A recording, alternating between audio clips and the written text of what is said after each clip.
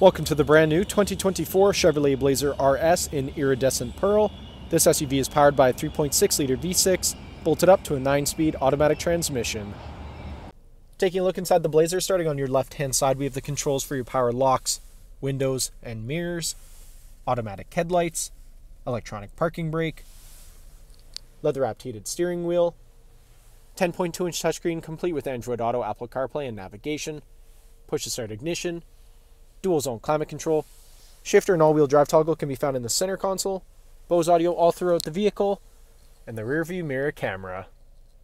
Taking a look at the exterior of the Blazer, starting off with the 20 inch wheels paired up with Michelin Primacy Tour tires.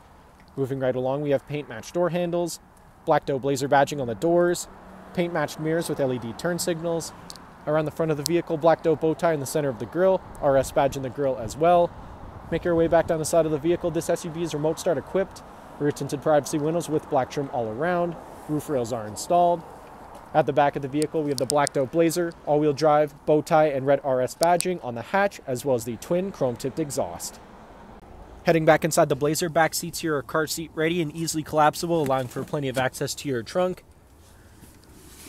Cup holders come down here in the middle. Bose audio continues throughout the rest of the vehicle, and here in the center console, we have two USB charging ports and a 120 volt outlet. Thank you for watching this brief walkthrough on the brand new 2024 Chevrolet Blazer RS. If you have any questions or inquiries, please contact our sales department.